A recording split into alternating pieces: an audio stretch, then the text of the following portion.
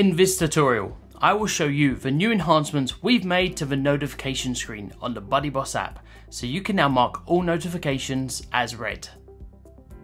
This update will help you clear your notifications of unread items, making it easier to stay on track with new notifications. We've also added a swipe gesture to improve your user's experience with this screen. Let me show you how this works. To get this new enhancement, just update to the latest version of the BuddyBoss app plugin and create a new build. From our app, navigate to the notification screen. As you will see, I have a couple of unread notifications here that I want to clear. Previously, there was no option to clear notifications without opening them, which is a time consuming especially for users who are receiving a lot of notifications all of the time. With this update, we've made managing notifications easier for your users.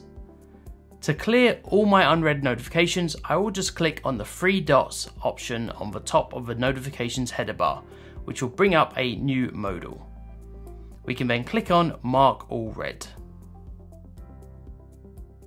And just like that, I was able to clear all my notifications, which has now been moved over to the read tab.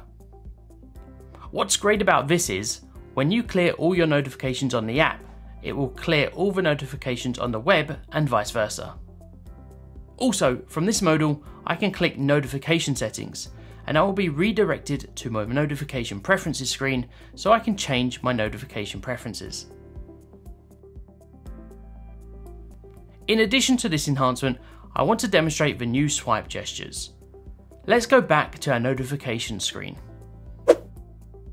From here, I can now swipe left to show notification options and swipe right again to hide it. If I swipe left to a notification, I can click on the read button to mark this notification as read without opening it. And if I click on more, a modal will pop up with the options to view, mark as read, or delete notification. Let's click mark as read. Just like that, the notification has been moved to the read tab. And there you have it, a quick and efficient way to maintain a clean and clutter-free notification screen for the BuddyBoss app.